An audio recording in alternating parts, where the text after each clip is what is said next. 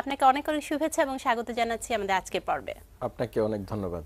আমি শুরুতেই একটা প্রশ্ন নিয়ে নিচ্ছি। ইউটিউবে আচ্ছা। একজন দর্শক প্রশ্ন করেছেন মোহাম্মদ কবির আমার পায়ের পাতা ও গোড়ালি ব্যথা এই অবস্থায় করণীয় কি? আচ্ছা পা পাতা ব্যথা এবং গোড়ালি ব্যথা প্রায় সমস্যা হয় অনেকের কমন। অনেকে এই ব্যথা নিয়ে আজীবন ভুগতে থাকেন।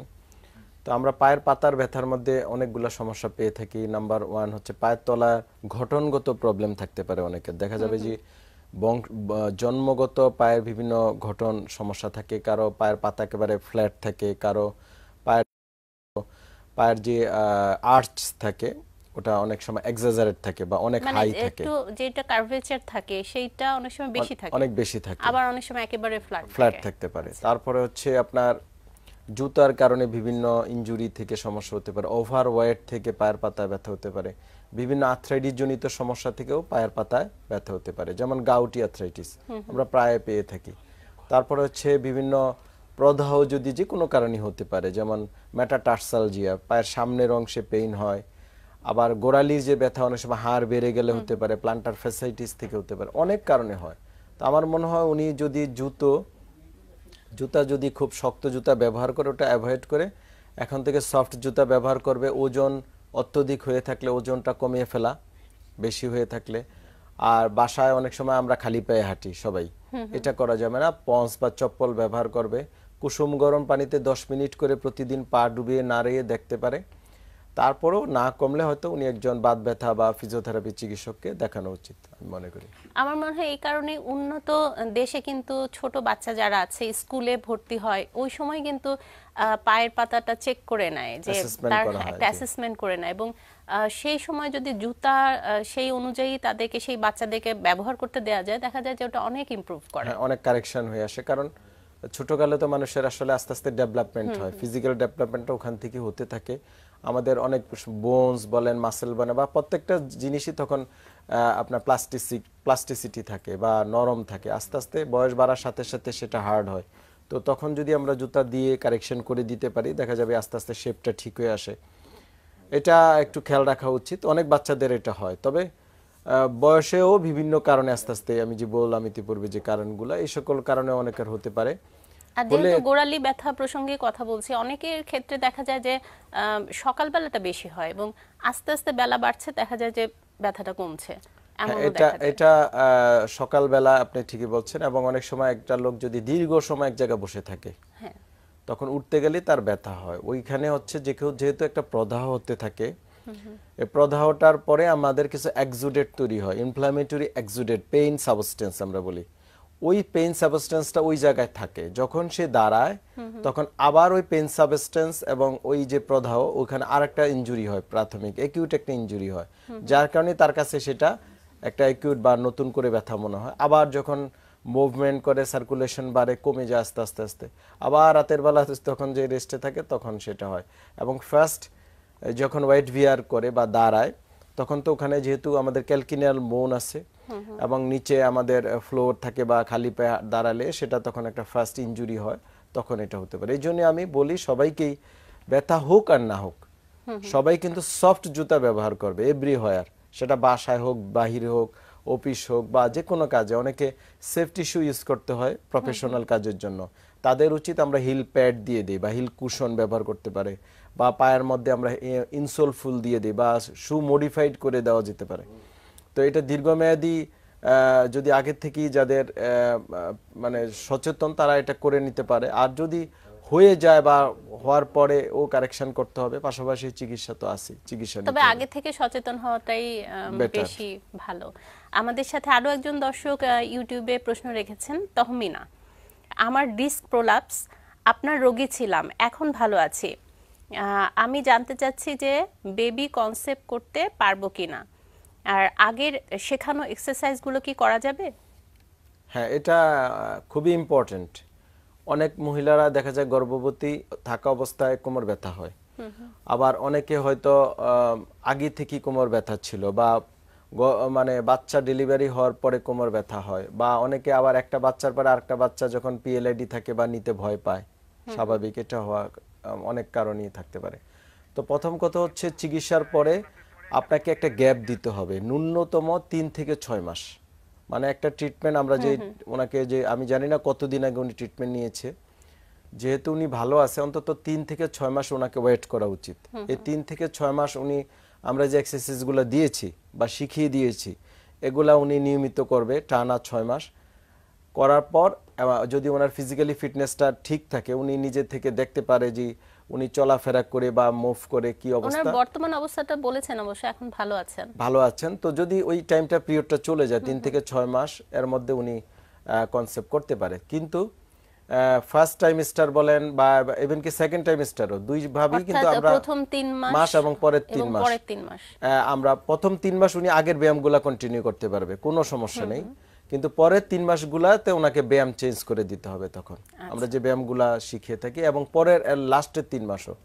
যেহেতু এক এক সময় যেহেতু বেবি বড় হতে থাকবে ওয়েট গেইন হতে পারে আর এই সময় অনেকগুলা হরমোন নিঃসৃত হয় মাদের তারপরে ফিজিক্যাল মেন্টাল চেঞ্জ আসে। তো ওই অনুযায়ী তাকে আবার কিছু এক্সারসাইজ চেঞ্জ করতে হবে। চেঞ্জ করতে হবে। আর আমাদের লাইফ স্টাইলও কিন্তু তাই কেননা যে যে কাজটা করছে সেই কাজটা কিন্তু এক মানে এক নাগাড়ে অনেকটা সময় সেই পজিশনেই থাকতে হয়। হ্যাঁ একটু আমরা এর মধ্যে সচেতনতা ডেভেলপ করাটাই জরুরি। যদি আমরা একটু মাঝে মাঝে উঠি দাঁড়াই বা একটু ঘোরাফেরা করি বা কাজের ফাঁকে ফাঁকে বা ডিউটি শেষ হলে বা অফ ডেতে আমাদের তো অবশ্যই উইকেন্ড আছে। উইকেন্ড ডেতে আমরা হয়তো বিভিন্ন এক্সারসাইজ করতে পারি ঘুরতে যেতে পারি বেড়াতে যেতে পারি সাঁতার কাটতে পারি। যার যে অ্যাকর্ডিং টু এইজ বয়স পেশা নারী পুরুষ নির্বিশেষে সুবিধা অনুযায়ী আমি সাঁতার কাটতে বললে তো হবে না ঢাকা তো আপনি চাইলেই পাওয়া যাবে না। আবার শীতের ব্যাপার আছে। এখন শীতের ঋতুতে হাঁটতে পারে নিয়মিত। যারা ইয়াং ছেলে বা বয়স কম আছে তারা সাইক্লিং করতে পারে। মহিলারা বাসায় হাঁটতে পারে বা যদি বাসায় বের হতে না পারে ট্রেডমিল ইউজ করতে পারে। তো এই জিনিসগুলো আমাদের একটু জাস্ট সচেতনতাটা জরুরি। যদি করা যায় তাহলে কিন্তু এমনিতেই সকল এক্সট্রা যে প্রবলেমগুলো দেখা দেয় যে দেখা যায় অনেক কনস্টিপেশন ইউরিনারি সমস্যা বা হাত পা ফুলে যায় বিভিন্ন সমস্যাগুলো এগুলো অনেকাংশেই কমে যায় এক্সারসাইজের মাধ্যমে চলাফেরার মাধ্যমে। মোস্ট অফ দ্য রোগী কন্ট্রোলে চলে আসে। যেহেতু আজকের বিষয় আমাদের আর্থ্রাইটিস এবং পঙ্গুত্ব আসলে আর্থ্রাইটিস থেকে তো একটা পর্যায়ে যে পঙ্গুত্ব হয়। আমি যদি একটু শুরুতে জেনে নেই যে আর্থ্রাইটিস কি এবং এখান থেকে যে ধাপে ধাপে যে পঙ্গুত্বের দিকে মানুষ চলে যায় সেটা কীভাবে হয়? ধন্যবাদ। আসলে আর্থ্রাইটিস হচ্ছে জোড়ার রোগ। আমাদের শরীরে অনেক জোড়া আছে অনেক বোনস আছে। প্রতিটি হাড় এবং হাড় একটা মানে দুইটা হাড় বা দুইটা তিনটা হাড় মিলে একটা একটা জোড়া তৈরি হয় এবং জোড়াগুলা বিভিন্ন রকম। কিছু জোড়া অনেক নাড়াচড়া করতে পারি কিছু জোড়া অল্প মুভমেন্ট হয় কিছু জোড়া সেকেন্ডারি কার্টিওলিজিনিয়াস কিছু আছে সাইনোবিয়াল ফ্লুইড থাকে ভিতরে লিকুইড বিভিন্ন টাইপের জোড়া। কিছু জোড়া আছে বেশ লার্জ বড় বড়, অনেক বড়। আছে ছোট ছোট জোড়া। হ্যাঁ এবং কমপ্লেক্স এবং আমরা যদি এক্সিস হিসাব করি কিছু আছে ইউনিক জেল মানে একদিকেই মুভমেন্ট হয়। হ্যাঁ। আবার কিছু জোড়া আছে চারদিকে মুভমেন্ট হয়। তো এই সকল জোড়ায় যদি কোনো কারণে প্রদাহ হয় বা ইনফ্লামেশন হয় বাহিরের কোনো এক্সটার্নাল স্টিমুলি হতে পারে অথবা ইন্টারনাল বডির অটো ইমিউন থেকেও হতে পারে। এখন জোড়া প্রদাহ অনেকের ধারণা যে স্যার আমি তো আঘাত পাই নাই। আমার তেমন কিছু হয় নাই বা এমন কোনো আহ, বাহিরের জ্বর হয় নাই বা অন্য কিছু হয় না হঠাৎ করে জোড়াটা এটা হবে কেন? বডি অটো ইমিউন কিন্তু আপনার এই অনেক সময় ইনফ্লামেশন হতে পারে। এই যে জোড়াতে বিভিন্ন রকম প্রদাহ হয় এবং সেটা থেকে যে প্রবলেমগুলো অ্যারাইজ করে সেটা নিয়ে আমরা কথা বলব। একজন দর্শক আচ্ছা। অপেক্ষা করছেন। হ্যালো আসসালামু আলাইকুম দর্শক। কে বলছেন? কোথা থেকে বলছেন? হ্যালো দর্শক আমরা সালাম মোহাম্মদ আব্দুর রহিম রাজশাহী থেকে বলছিলাম। জি শুনতে পাচ্ছি এবারে। জি বলুন শুনতে পাচ্ছি আমরা। আর আমি এই মেরুদণ্ড ডাক্তারের কাছে ছিলাম স্যার দেখার পরে বলছিল আমার হাড্ডি বেড়ে গেছে। তা আমি অপারেশন করছি স্যার। আচ্ছা। অপারেশন করার পরে এখন বসতে পারি না আমি। বসতে পারি না বেশি হাঁটতে পারি আগে- আগে- আপনার অপারেশনের আগে কি সমস্যা ছিল? আগে স্যার ওই বসে থাকতে পারতাম না আগে। হ্যাঁ। হাঁটাচলা করতে পারতাম। হ্যাঁ এখন নতুন কি সমস্যা হয়েছে? এখন আমি বসে থাকতে পারি না বেশি সময়। দুইবার অপারেশন করা হয়ে গেছে। আমি ইস্কর হাসপাতালে উঠছি কৃষ্ণপ্রভু রায় ডাক্তার কৃষ্ণপ্রভু রায়ের কাছে। মানে একই অপারেশন একই জায়গায় দুইবার করেছে? একবার ওয়ান টু একবার ফোর ফাইভ আচ্ছা আপনি কি করেন? পেশা কি? আমি পুলিশে জব করি। আচ্ছা এখন আপনি বসে থাকতে পারেন। আপনি জব করতে পারেন? ডিউটিতে যান? বসে থাকতে পারি বিশ মিনিট আধা ঘণ্টা বসলে আর থাকতে পারি না আমি। বা ওই বিশ মিনিট আধা ঘণ্টা দাঁড়িয়ে থাকতে পারি না। আচ্ছা আপনি কি জব করছেন আপনি? জব করতেছি আমার যাব আর এখন পনেরো বছর আছে কিন্তু খুব কষ্ট হচ্ছে আর কি। আচ্ছা ব্যথা পায়ের দিকে যায়? মাঝে মাঝে যাই। আচ্ছা জি ধন্যবাদ আমি বুঝতে পেরেছি। ওনার পিএলআইডি দুইটা লেভেলে হয়েছে একবার উপরে আবার নিচে দুইবারই উনি অপারেশন করেছেন। অপারেশনও করা হয়েছে। হ্যাঁ দুইবার। পিএলআইডি সার্জারি দুইবার হয়েছে এখন ওনার ওই সমস্যা আছে বসতে পারে না বা দাঁড়িয়ে থাকতে পারে না যেহেতু পুলিশে ডিফেন্সের জব ওনার হয়তো ওনার বিভিন্ন হার্ড ডিউটি থাকে এক্সারসাইজ থাকে প্যারেড থাকে বা অনেক কাজই থাকতে পারে। আসলে প্রত্যেকটা পিএলআইডি রুগী বলেন আমরা বারবার বলছি দুইটাই চিকিৎসা। এক হচ্ছে অপারেশন আর একটা হচ্ছে ফিজিওথেরাপি কনজারভেটিভ চিকিৎসা physiotherapy ninety two ninety percent রুগী যদি সঠিক জায়গায় সঠিকভাবে ফিজিওথেরাপি দেওয়া যায় ভালো হয়ে যায়। আবার একইভাবে যদি অপারেশন প্রয়োজন হয় যদি ভালো সার্জনের হাতে পড়ে অপারেশন করলে ভালো হয়ে যায়। কিন্তু ঘুরে ফিরে একই কথা বারবার আমরা বলতেছি আর্গোনমিক্যাল কারেকশন আপনি অপারেশন করেন ফিজিওথেরাপি দেন যাই করেন না কেন আপনাকে বসার নিয়ম কাজের নিয়ম শোয়ার নিয়ম এগুলো মেনে চলতে হবে এবং না জানলে শিখে নিতে হবে। এবং আমরা যে পুনর্বাসন পরবর্তী প্রিভেনশন দিই যে এক্সারসাইজগুলো দেই নিয়ম শৃঙ্খলাগুলো শিখিয়ে দিই সেগুলা নিয়মিত করা এবং মেনে চলা। না হলে এই বারবার হতেই থাকবে। আপনি ফিজিওথেরাপি দিয়ে ভালো হলো আবার হবে। আবার হবে বা অপারেশন করে ভালো হলো আবার হবে। আবার হবে। যেমন উনি বাস্তব উদাহরণ। হ্যাঁ। তো আমার মনে হয় আপনি একটু কষ্ট করে আমার ইউটিউব চ্যানেল বা ফেসবুক পেজে গিয়ে দেখবেন পিএলআইডির অনেক এক্সারসাইজ আমি দিয়েছি আগে।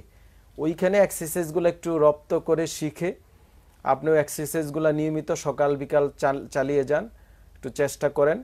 আর ডাক্তার সাহেব যদি কোনো ওষুধ দিয়ে থাকে সেগুলো কন্টিনিউ করেন। আর ওই যে নিয়মগুলো আমরা বারবার বলছি, দেখবেন ছবি সহ সুন্দরভাবে আমার ইউটিউব চ্যানেল এবং ফেসবুকে দেওয়া আছে। ওই ছবিগুলো একটু দেখবেন, যে বসবেন কীভাবে, দাঁড়িয়ে থাকার নিয়মটা কি বা কত সময় ধরে দাঁড়ানো উচিত। আপনার যার যেই রোগ বা যেই রোগে সে আক্রান্ত, সে ডাক্তারদের পরামর্শ নিবে, পাশাপাশি ওই রোগ সংক্রান্ত কিছু স্টাডি ওনাদের করা উচিত সবারই, যে কেন হয়েছে প্রিভেনশন কি। তাহলে আপনারা ভালো থাকতে পারবেন। না হলে দেখা যাবে যে একই সমস্যা বারবার দেখা দিবে। এর সাথে ফেসবুকে একজন দর্শক সংযুক্ত হয়ে প্রশ্ন রেখেছেন আচ্ছা। আমি সেই প্রশ্নটি নিয়ে নিচ্ছি। আজম তিনি লিখেছেন আমার আম্মু এপ্রিল দুই হাজার একুশ একুশে স্ট্রোক করেছিলেন। পরবর্তীতে এক হাত এবং এক পা অকেজো ও দুর্বল হয়ে গেছে। অনেক ডাক্তার দেখিয়েছি এখন কি করব? হ্যাঁ আসলে স্ট্রোকজনিত প্যারালাইসিস একেবারেই কমন এটা বাংলাদেশে প্রচুর রুগী এবং যত দিন যাচ্ছে আরও বাড়ছে।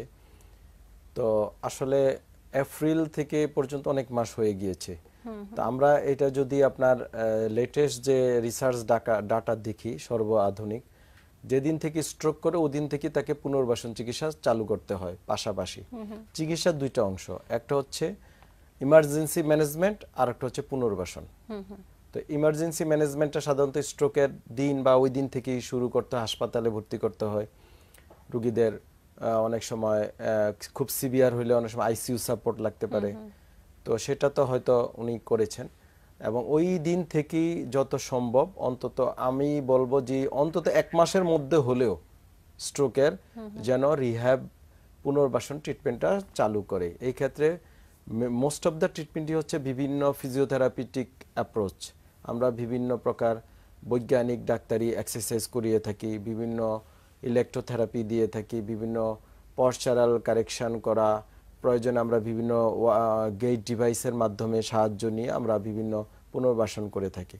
তো দেখা যায় যে এক দুই মাস যদি ঠিকমতো করা যায় এবং উইদিন ওয়ান মান্থ বা টু মান্থের মধ্যে দেখা যায় উইদিন এক থেকে দুই মাসের মধ্যে রুগী প্রায় নেয়ার অ্যাবাউট স্বাভাবিক জীবনে ফিরে আসে।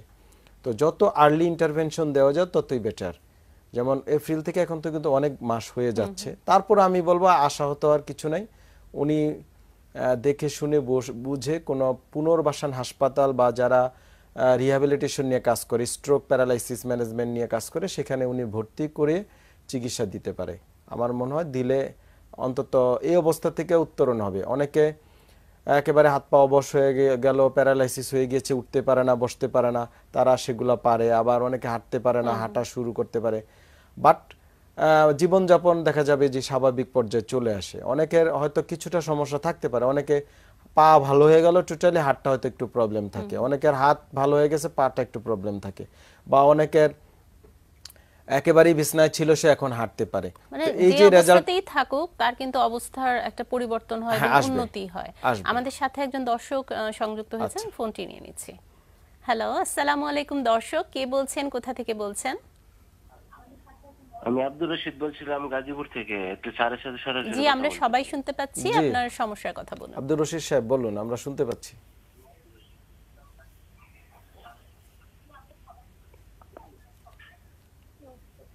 দর্শক আপনার সমস্যার কথা বলুন আমরা সবাই শুনতে পাচ্ছি। আমার ওয়াইফের হচ্ছে মাজায় সমস্যা কোনো ব্যথার ট্যাবলেট খাইলে হুম। তারপরে মনে করেন যে সারা শরীর ফুলে যাচ্ছে। হুম। বয়স কত ওনার? ওনার বয়স কত? উনি কি করেন? বয়স হচ্ছে আঠাইশ। আচ্ছা উনি কি করেন?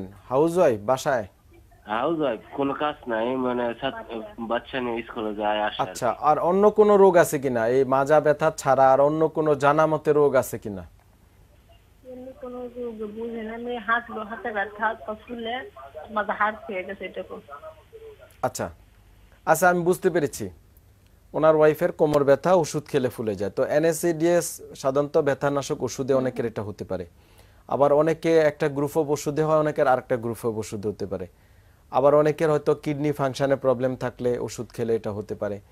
আবার অনেকের ড্রাগ অ্যালার্জি থাকতে পারে। অনেক কারণেই আপনার শারীরিক বিভিন্ন সমস্যা দেখা দেয়। তো আসলে এই ক্ষেত্রে আমরা বারবার স্পেশালি কোমর ব্যথার ক্ষেত্রে ঔষধের ভূমিকা অত একটা নাই। প্রাইমারি আমরা দিয়ে থাকি এক পনেরো দিন বা দশ বারো দিন খেতে পারে। স্বল্প সময়ের স্বল্প জন্য। সময়ের জন্য। কিন্তু ওষুধ খেয়ে এটা ম্যানেজ করার কোনো মানে আমার মনে হয় কোনো সাইন্টিফিক ট্রিটমেন্ট না। তো আমার আমার মনে হয় আপনার ওয়াইফকে আগে রোগ নির্ণয় করতে হবে যে ওনার কোমর ব্যথাটা কেন হচ্ছে। ওই দিকে মনোযোগ দেন। আপনি চিকিৎসা কি খাবে ওষুধ খাবে নাকি ক্যাপসুল না ইনজেকশন সেই দিকে মনোযোগ না দিয়ে ওনাকে কেন হচ্ছে যে ডাক্তারকে দেখান ওনার সাথে কথা বলেন যে কেন কোমর ব্যথাটা হয়, যদি কেনর উত্তর পেয়ে যান তাহলে এমনিতেই উনি সেরে যাবে। তো সাধারণত আমাদের যে অভিজ্ঞতা দীর্ঘদিন রুগী দেখার, পড়ালেখার অভিজ্ঞতা, মনে হয় যে মহিলাদের বিভিন্ন কাজকর্মেটা হয়।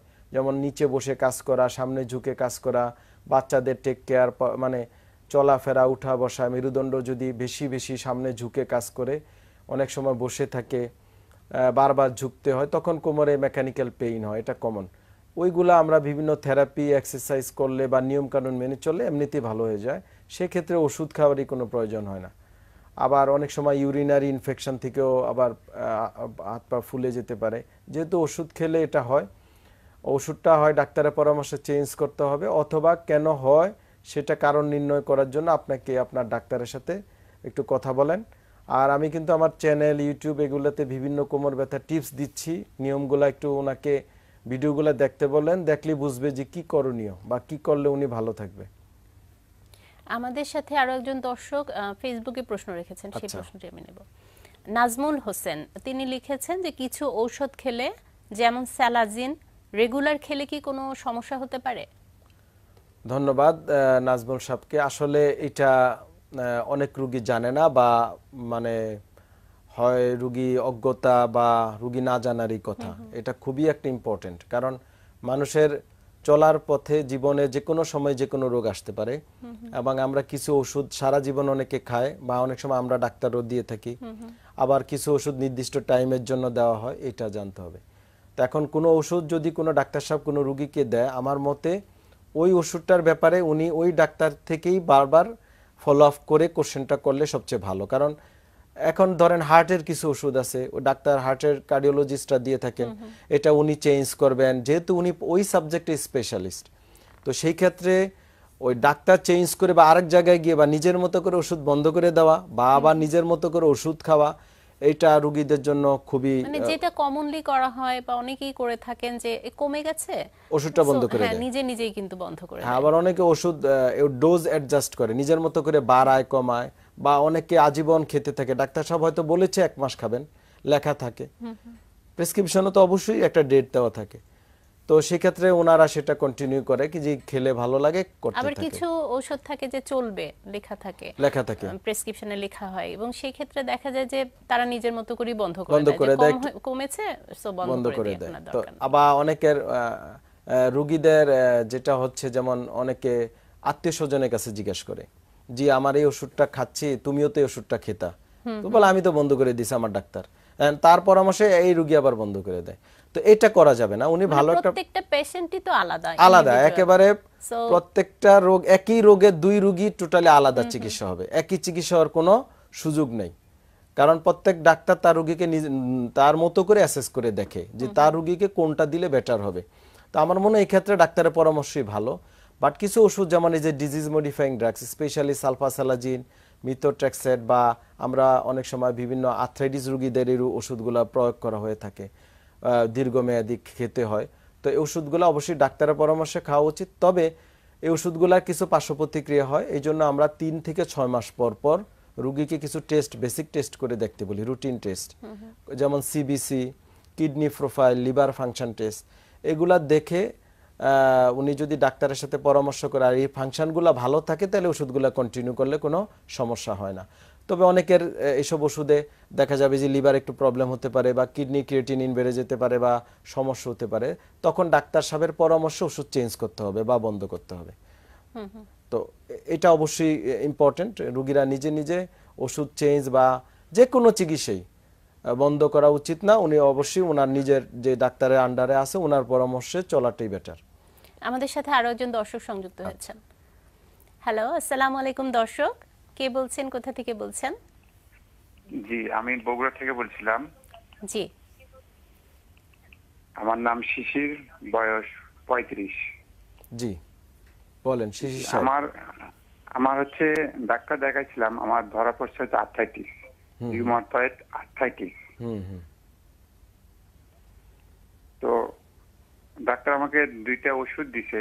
একটা হচ্ছে ইন্ডোমেট এসআর আর একটা হচ্ছে ম্যাথোট্রেক্স টু পয়েন্ট ফাইভ এটা সপ্তাহে দুই দিন খেতে হয়। ওষুধগুলো ওষুধ ইন্ডোমেট এসআরটা খেলে মানে ভালো থাকি।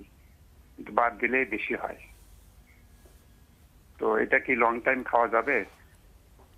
আচ্ছা আপনার মানে শারীরিক কি সমস্যা হয়? মানে আর্থ্রাইটিস তো শারীরিক সমস্যা জি। মানে চলাফেরা সবকিছুতেই খুব সমস্যা। ব্যথা হয়? ব্যথা হয় রাত্রে শোয়ার পর মানে এক কাত থেকে আরেক কাত হতে পারি না। কষ্ট হয়, হ্যাঁ? উঠতে পারি না কষ্ট হয়। আপনি কি করেন? পেশা কি? আমি দোকান আচ্ছা ব্যবসা করি আর কি। মানে ব্যবসার ধরনটা কি আপনি কি চলাফেরা করতে হয় না একই জায়গায় বসে না থাকেন? বসে থাকতে হয়। আচ্ছা জি ধন্যবাদ। দোকান। জি ধন্যবাদ। আহ, আহ, আপনার প্রশ্নের উত্তরের সাথে আমার মনে হয় যে এই জাতীয় যত রুগী আছে সবারই উপকারে আসবে। যে কোনো আর্থ্রাইটিস স্পেশালি ওনার মতো যেমন রিমাটয়েড আর্থ্রাইটিস অ্যানকাইলোজিং স্পন্ডিলাইটিস মানে ডায়াগনোসড কেস যাদের জোড়ায় জোড়ায় ব্যথা শরীরে ব্যথা চলাফেরা করতে অসুবিধা হয় তাদেরকে আমি বলব প্রথম কথা হচ্ছে তাদের পেশাতে একটু চেঞ্জ আনতে হবে। পেশা মানে পেশা চেঞ্জ করতে বলি নাই কাজের ক্ষেত্রে চেঞ্জ আনতে হবে। যেমন উনি ব্যবসা করে বসে থাকে এটা অবশ্যই চেঞ্জ আনতে হবে। সারাদিন এই বসে থাকা বসে থাকার মধ্যেই তার পজিশনটা একটু মানে পোস্টার চেঞ্জ চেঞ্জ করতে হবে বসার মাঝে মাঝে উঠে হাঁটা একটু বের হয়ে আসা ব্যবসা প্রতিষ্ঠানে একটু মুভমেন্ট করা। চেয়ারে টানা না বসে মুভমেন্ট করা ভালো এবং নিয়মিত হাঁটা চলাফেরা করতে হবে। এতেই অনেকাংশেই পেইন কমে আসবে। এই জিনিসটা অনেকে জানে না। তারপরে কুসুম গরম পানিতে গোসল করা। তারপরে সাঁতার কাটা বাহিরে হালকা হাঁটা। এগুলাতে কিন্তু পেইন অনেকাংশেই কমে আসে আর্থ্রাইটিস রোগীর। এবং শুধু পেইন কমবে না আপনি বলছিলেন এর আগে যে আর্থ্রাইটিস থেকে যে পঙ্গুত্ব হতে পারে ওই জিনিসটা হচ্ছে ইম্পর্টেন্ট রুগীদের কেবল ব্যথা নিয়েই সবাই অস্থির। ব্যথা তো একটা সাময়িক ব্যাপার এবং প্রাথমিক অবস্থা। এবং ব্যথা এক পর্যায়ে নাও থাকবে। এই আর্থ্রাইটিস রুগীর আমার অভিজ্ঞতা আমি এটা দেখেছি আফটার ফাইভ ইয়ার্স পরে দশ বছর পরে আর ব্যথা নাই। রুগীর নড়াচড়া বন্ধ হয়ে গিয়েছে। চলাফেরাই করতে পারে না। শুকিয়ে যায় হাত পা জোড়াগুলা নষ্ট হয়ে যায় বেঁকে যায় বিভিন্ন রকম তখন আর ব্যবসা বাণিজ্য করা তার সম্ভব হয়ে উঠবে না। ফিজিক্যালি সে দুর্বল হয়ে পড়ে। ওই দিকে আমাদের মনোযোগ দেওয়া যেন রুগী শারীরিকভাবে অক্ষম না হয়ে পড়ে এই জন্য ব্যথা রুগী স্পেশালি আর্থ্রাইটিসের রুগী মুভ করতে চায় না তাদের আজকে থেকে যেন তারা হাঁটা চলাফেরা শুরু করে। এবং কখন করবে? সবচেয়ে ভালো দিনের বেলা বা ধরেন দুপুরের পর থেকে বিকাল টাইমটা তাদের জন্য ভালো। কারণ এই টাইমটা তাদের পেইনটা আস্তে আস্তে কমে আসে। এবং যেই সময় কমে আসে ওই সময় থেকে যদি তারা এক্সারসাইজগুলো করে তাহলে দেখবেন এটা রেজাল্ট পাবে সে রাতের যে পেইনটা কমে কমে যাবে অনেকাংশে। আর রাতের বেলা কুসুম গরম শেক নিতে পারে শুয়ে শুয়ে কিছু এক্সারসাইজ ডাক্তার সাহেবরা অবশ্যই দেখায় যে ডাক্তার আন্ডার উনি আছেন। বা আমিও বিভিন্ন আমার চ্যানেলে দেওয়া আছে এক্সারসাইজগুলো ওনারা করতে পারে বিভিন্ন মোবিলাইজিং এক্সারসাইজ একেবারে সহজ এগুলা করবে। আর উনি যেটা প্রশ্ন করেছেন যে ইন্ডোমেথাসিন ব্যথার ওষুধ। আসলে ব্যথার ওষুধ ডাক্তার সাহেবরা আমরা দিয়ে থাকি কিছুদিনের জন্য এটা দীর্ঘদিন খেলে অবশ্যই সাইড ইফেক্ট আছে। এটা নিয়মিত খাওয়া উচিত না। ব্যথার ওষুধ এই সকল রোগীর ক্ষেত্রে তীব্র ব্যথা হলে খুব কষ্ট হলে মাঝে মাঝে খেতে পারে। তাও মাঝে মাঝে কিডনি লিভার ফাংশন টেস্ট করে দেখতে হবে যে এগুলা কোনো প্রবলেম হচ্ছে কিনা।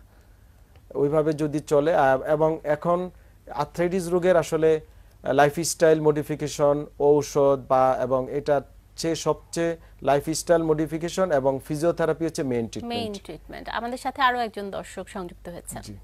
হ্যালো আসসালামু আলাইকুম দর্শক। কে বলছেন? কোথা থেকে বলছেন? হ্যালো হ্যালো আসসালামু আলাইকুম জি, ওয়ালাইকুম আমি সালাম। থেকে বলছিলাম আব্দুল মান্নান। জি আপনার সমস্যার কথা বলুন। আমার বয়স হলো আটচল্লিশ বছর। হুম। ওই আমার দুই পায়ের গিরায় প্রতি বছর শীতে হঠাৎ করে ফুলে যায় দুই দুই পায়ের গিরায়। গিরা বলতে কি বুঝাইছেন? হাঁটু? হাঁটু হাঁটু। হ্যাঁ। তো ফুলে যায়। এখন ওই হাঁটু মানে পায়ে হাঁটু আর কি হাঁটু দুই পাশে হুম আবার গরম আসলে ঠিক হয়ে যায় ফুলে যায় ওই স্যাক ট্যাক দেওয়ার পর এবং জি জি বলেন আর ওই ডাইক্লোভিন ফিফটিন একটা ট্যাবলেট খাওয়ার পর ওইটা কমে যায়। এখন স্থায়ী সমাধান কি স্যার আমি একটু জানতে চাচ্ছি এই এই এই পাঁচ বছর ধরে পাঁচ ছ বছর হয়েছে এটা হ্যাঁ জি জি। ডায়াবেটিস আছে বা অন্য কোনো রোগ আছে আপনার? না না আমার ডায়াবেটিস নাই। ওই আমি সিকিউরিটি চাকরি করি মানে বসা। বসে থাকেন আচ্ছা। জি ধন্যবাদ আমি বুঝতে পেরেছি। তো শীত আসলে আর্থ্রাইটিস কিছু আর্থ্রাইটিস বাড়ে স্পেশালি অটোইমিউন ডিসঅর্ডারগুলো যেমন রিউমাটয়েড অ্যানকালোজিং এগুলো। কিন্তু ওনার আমার মনে হচ্ছে ওনার এই জাতীয় আর্থ্রাইটিস না ওনার এজিং প্রসেস জনিত অস্টিও আর্থ্রাইটিস হাঁটু যেমন হাঁটু ব্যথা করে হাঁটু ফুলে যায়। শীত আসলেও এটা হতে পারে অনেকের ক্ষেত্রে। তো আমার মনে হয় যে আপনি বসে থাকার কাজটা বসে থাকার মাঝে মাঝে মাঝে একটু উঠবস করবেন, একেবারেই বসে থাকবেন না। আর হাঁটু ব্যথার কিছু এক্সারসাইজ আছে, এগুলো আপনি শীত আসার শুরুতেই শুরু করে দিবেন, যেন আপনার শীতে এটা কাবু করতে না পারে। আর যেহেতু শীতে সমস্যাটা বাড়ে, আপনি একটু গরম কাপড় চোপড় বেশি পরতে হবে। শীত মানে কোল্ড মানে শীত থেকে বাঁচার জন্য যেই যেই ব্যবস্থা নেওয়া, এগুলো আপনাকে একটু নেওয়া নেওয়া, নিতে হবে। এটাই করা উচিত। আর এই ক্ষেত্রে আমরা বিভিন্ন সাপ্লিমেন্ট দিয়ে বিভিন্ন থেরাপি দিয়ে থাকি। পাশাপাশি পার্মানেন্ট চিকিৎসার জন্য এক্সারসাইজ খুবই উপকারী। তো আমার মনে হয় এই এক্সারসাইজগুলো হাঁটুর বিভিন্ন এক্সারসাইজ দেওয়া আছে আমার ইউটিউবে ওগুলো আপনি করতে পারেন। এবং ভিটামিন ডি ক্যালসিয়াম এগুলা প্রয়োজনে হয়তো দুই এক মাস খেয়ে দেখতে পারেন। এগুলা অনেকাংশে কমে আসবে। আর মুভমেন্টে থাকতে হবে। একেবারে ওই যে বসে থাকবেন যখন টানা, তখন এরকম হাঁটুর সমস্যাটা বেড়ে যেতে পারে। একটু মুভমেন্ট যখন করবেন, তখন আস্তে আস্তে কমে আসবে। আর গরম শেক দিতে পারেন দুবেলা। এতেও আপনার অনেক রেজাল্ট আসবে। আমাদের সাথে একজন দর্শক ইউটিউবে সংযুক্ত হয়ে প্রশ্ন রেখেছেন। ওনার নাম শারমিন নাহার। তিনি লিখেছেন বাচ্চার বয়স আট বছর দেড় বছর ধরে হাঁটু ব্যথা করে। ডাক্তার দেখিয়েছি অনেকগুলো টেস্ট করিয়েছি রিপোর্ট ভালো।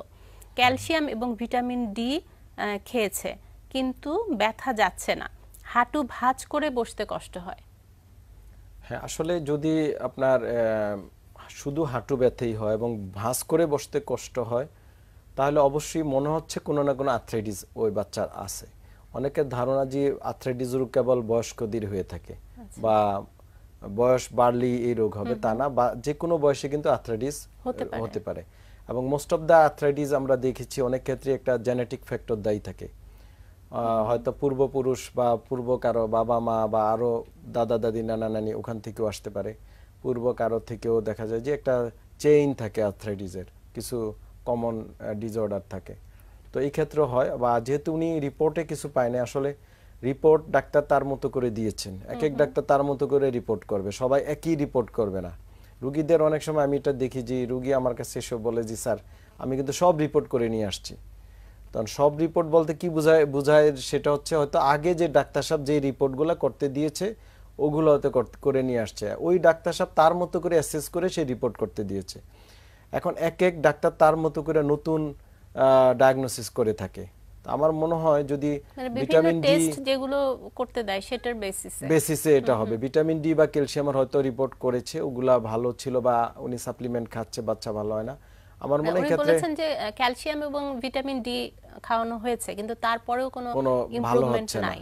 এই ক্ষেত্রে কিছু আপনার সেরোলজিক্যাল টেস্ট করা দরকার যেমন আমরা আর এ টেস্ট বলি বা এনটিসিসিপি এএনএ কিছু অটিমিউন ডিসঅর্ডার দেখার জন্য আমরা কিছু টেস্ট করে থাকি বা আর্থ্রাইটিস বা বাত রোগ নির্ণয়ের জন্য কিছু কমন অনেক সময় কোনো ইনফেকশন জনিত সমস্যা থেকে হচ্ছে কিনা সেটাও দেখার দরকার। তো এগুলো আমার মনে হয় উনি ওনার ডাক্তার সাহেবকে আবার দেখাতে পারে। অথবা উনি আর অন্য কোনো ডাক্তারের শরণাপন্ন হয়ে ডায়াগনোসিসটা আরও ক্লিয়ার করা দরকার। যেহেতু বাচ্চা নিচে বসতে পারে না তা হাঁটুতে ব্যথা করে অবশ্যই তখন কষ্ট হয়। হ্যাঁ অবশ্যই এটা আর্থ্রাইটিস জনিত কোনো সমস্যা।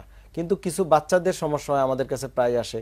যে বাচ্চা স্কুল থেকে আসে কান্নাকাটি করে খেলতে গিয়ে সে রাতে কান্নাকাটি করে মানে পুরা পা পেইন যেটা আর কি। যেটা আমরা গ্রোয়িং পেইন বলে থাকি পুরা পায়ের মাসেল কামড়ায় বা ব্যথা করে সেটা পুরা পা হতে পারে। কিন্তু শুধু স্পেসিফিক যদি হাঁটুতে হয় তাহলে বুঝতে হবে কোনো একটা আর্থ্রাইটিস রোগ আছে। আর এটা নিয়ে এত ভয়েরও কোনো কারণ নেই। অবশ্যই যদি ডায়াগনোসিসটা ক্লিয়ার হয় তাহলে বাচ্চা ভালো হয়ে যাবে ইনশাল্লাহ। হ্যালো আসসালামু আলাইকুম দর্শক। কে বলছেন? কোথা থেকে বলছেন?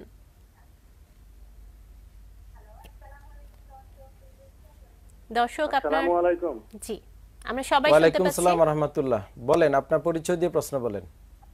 আমি মুক্তার হোসেন সাবাত থেকে বলছি। জি।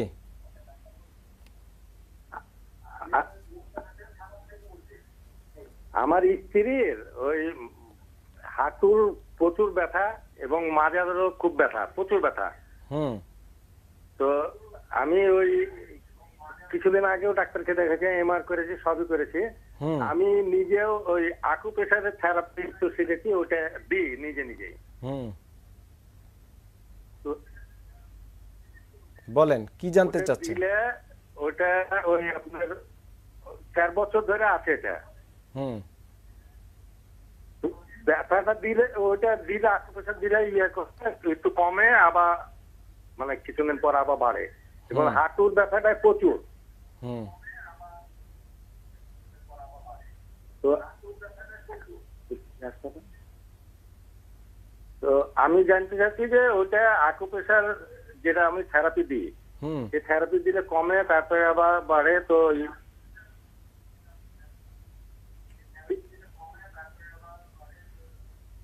আচ্ছা আপনার এই যে যেটা আকু প্রেসার দেন এটা কি কোনো মেশিন না হাতে প্রেসার দেন? ওইটা হাতে এবং হিটের মেশিন যেটা আছে।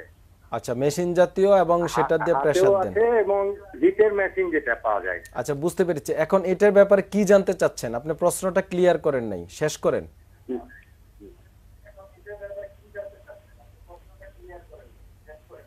প্রশ্নটা হাতুর ব্যথাটা কি করে কমবে বা ইয়ে করবে এটাই।